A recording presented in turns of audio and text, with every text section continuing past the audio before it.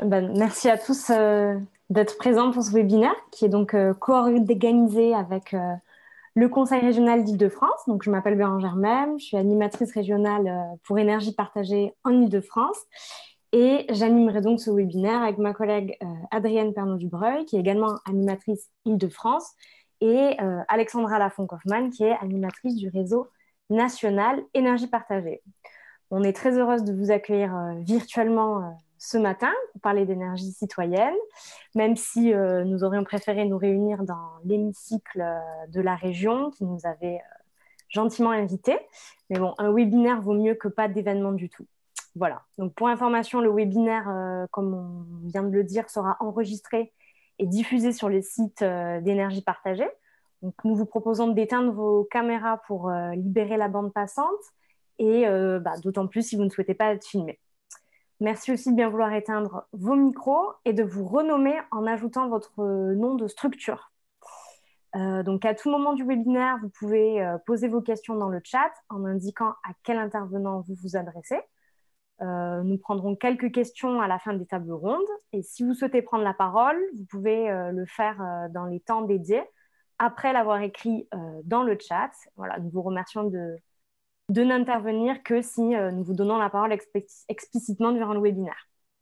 Euh, toutes les questions posées, évidemment, auront une réponse soit pendant le webinaire, soit l'équipe d'énergie partagée y répondra par la suite. Euh, donc ça, c'était pour les petites règles du webinaire. Je vais peut-être rappeler qui est, Énergie Partagée. Alors, Énergie Partagée, c'est une association qui promeut, qui accompagne et qui finance des projets d'énergie renouvelable euh, au bénéfice du territoire et qui sont portés localement par des collectifs citoyens et des collectivités.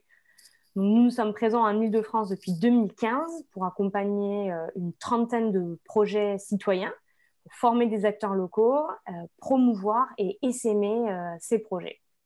Donc l'idée de, cette matinée, c'est d'outiller les collectivités, donc les ALEC, les agences locales de l'énergie et du climat, les parcs naturels régionaux, sur euh, l'énergie citoyenne pour lancer des démarches de production euh, d'énergie renouvelable locale sur des nouveaux territoires en Ile-de-France et euh, tout cela en impliquant les citoyens. Donc on aura ce matin trois tables rondes. La première abordera les dispositifs régionaux qui sont dédiés aux énergies renouvelables citoyennes. ensuite, des porteurs de projets et des collectivités témoigneront dans la table ronde numéro 2.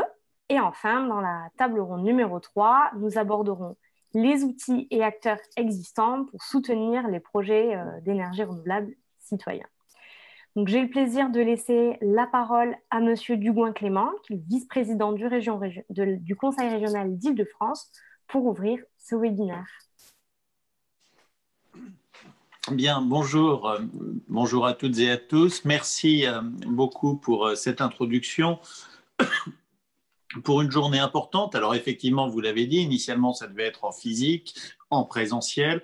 Et puis, euh, pandémie oblige, eh bien effectivement, on s'est réadapté. Euh, on est euh, dans un format qui est beaucoup plus aseptisé, beaucoup moins euh, agréable, sympa, mais qui a le mérite d'exister et qui a le mérite de permettre de continuer à travailler, à réfléchir, à échanger. Donc, bravo à vous de l'avoir organisé. Et je tenais vraiment à remercier Énergie Partagée pour l'organisation de, cette journée importante, pour ne, pas avoir lâcher, renoncer euh, ou, euh, ou baisser les bras. Énergie partagée, vous vous êtes présenté.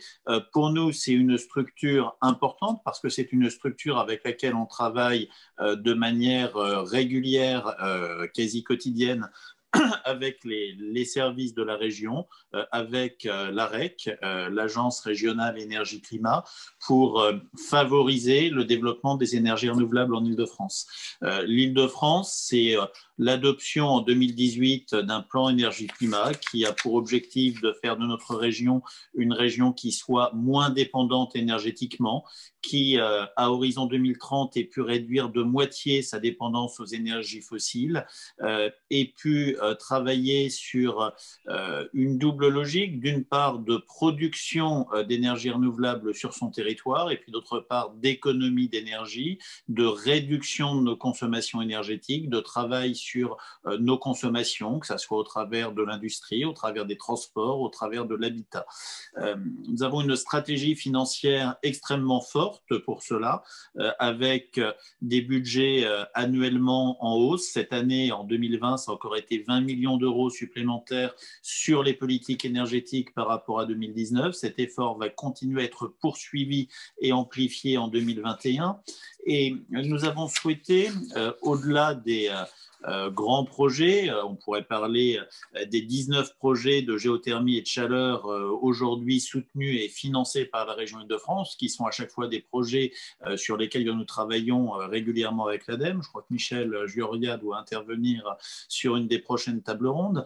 Mais au-delà de ces euh, très gros projets euh, financièrement qui nécessitent des partenariats euh, publics importants, essayer d'avoir une logique de maillage du territoire, d'implication des citoyens au travers d'un programme que nous avons qualifié en 2018 dans le cadre du plan énergie-climat de 100 projets citoyens autour des énergies renouvelables. Sur ces 100 projets citoyens, euh, beaucoup euh, font l'objet d'un travail euh, amont, d'accompagnement et ensuite sur la mise en place et la réalisation avec énergie partagée, mais pas que. Aujourd'hui, à fin 2020, nous sommes sur ce projet de, sur ce projet de 100 projets citoyens, excusez-moi pour la redite, sur en un peu plus de deux ans 68 dossiers qui ont déjà été présentés en commission permanente, représentant 79 installations potentielles euh, c'est un montant de 2 200 000 euros euh, d'investis sur ces projets et c'est la réalisation de 27 installations qui entreront ou seront entrées en service d'ici à fin 2021. Donc on voit véritablement l'appétence des citoyens pour ces sujets-là. Euh, nous avons souhaité aller encore plus loin en développant un budget participatif écologique. Euh, ça représente 500 millions d'euros d'investissement sur 5 ans, 100 millions d'euros par an, euh, qui vient aussi, dans un certain nombre d'items, permettre de travailler sur l'énergie, sur sa production, sur euh, son économie. Et croyons véritablement que la transition écologique et plus particulièrement énergétique, sur le sujet qui nous intéresse aujourd'hui en Ile-de-France comme ailleurs en France, elle ne pourra se faire, elle ne pourra être portée qu'au travers d'une implication euh, directe euh, des franciliens. Et donc, euh, comme vous êtes de nombreux acteurs aujourd'hui, associations, mais également collectivités, parce que un projet citoyen local, pour dire les choses très clairement, il ne peut pas voir le jour sans le soutien et souvent la participation active de la collectivité communale. Eh bien, je tenais à remercier toutes celles et ceux qui font œuvre utile en se mobilisant euh, aux côtés de l'ensemble des acteurs sur ce sujet. Et puis, euh, peut-être enfin euh, terminer en disant un mot sur deux outils qui, je crois, sont extrêmement importants sur ce sujet. Le premier, vous en avez parlé, c'est les ALEC, alors qui ont culturellement euh, plus une logique de travailler sur la rénovation du bâti, mais quand on parle de rénovation, ça peut aussi être euh, le travail sur la production euh, d'énergie. Et je crois que le lien que vous faites avec ces structures qui sont aussi financées par la région, c'est quelque chose d'important. Et puis, deuxième structure dont je souhaitais parler, c'est Île-de-France Énergie, c'est la SEM francilienne qui intervient sur ces deux piliers que sont la rénovation énergétique et la production énergétique énergétique et dont le président euh, Benjamin Schroon euh, aura euh, le plaisir, le bonheur et l'honneur de clôturer les travaux de cette matinée. Bravo vraiment à vous. Très bonne matinée d'échange et de travail et en espérant eh bien, que nous puissions avoir le plaisir de nous revoir présentiellement pour partager un café sans masque. Merci à vous. Merci, euh, Monsieur le Vice-président. Euh, cette intervention souligne bien l'engagement de la région en faveur de la transition énergétique et, surtout en faveur des énergies euh, renouvelables citoyennes. eh justement, les communautés d'énergie renouvelable citoyennes, elles sont encouragées au niveau européen grâce aux directives marché de l'énergie et énergie renouvelable, qui soulignent bien, qui soulignent que l'énergie ne devrait pas être appropriée uniquement par des grands groupes industriels et euh, qu'il est essentiel d'impliquer aussi les citoyens, les acteurs locaux, les collectivités, les associations et entreprises du territoire. Euh, et de cette manière, demain, les collectivités, elles pourraient piloter des communautés d'acteurs autour de projets d'énergie sur leur territoire. Donc, ça pourrait être des projets de production, mais aussi de services énergétiques. Euh, qu'en est-il en Ile-de-France aujourd'hui? Quelles sont les politiques qui encouragent les collectivités à se réapproprier cette question de l'énergie? Je laisse la parole à ma collègue euh, Alexandra Lafont-Kaufmann, qui est responsable du pôle animation d'énergie partagée, pour en discuter dans notre première table ronde.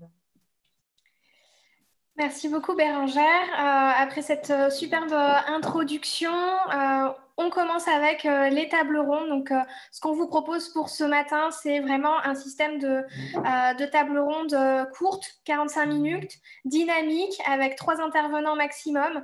Et on va essayer de creuser ensemble donc les possibilités pour les collectivités, les PNR, les ALEC de se saisir de cette question de l'énergie citoyenne pour vraiment accompagner le mouvement du développement de l'énergie renouvelable sur les territoires et en impliquant les citoyens. Donc, nous commençons avec cette première table ronde euh, sur les dispositifs régionaux dédiés au développement des énergies renouvelables citoyennes euh, avec Michel Juria, directeur régional de l'ADEME Île-de-France, Sébastien Maes, directeur environnement de la région Île-de-France, euh, et Eva Frangiamon, euh, chef de projet énergie-climat à la métropole du Grand Paris. Est-ce que euh, on me confirme que les trois intervenants sont bien autorisés à parler et est-ce qu'on va pouvoir donc donner la parole à nos intervenants? Léa, c'est OK de ton côté niveau technique? Oui, c'est bon. Super, merci. Thank you.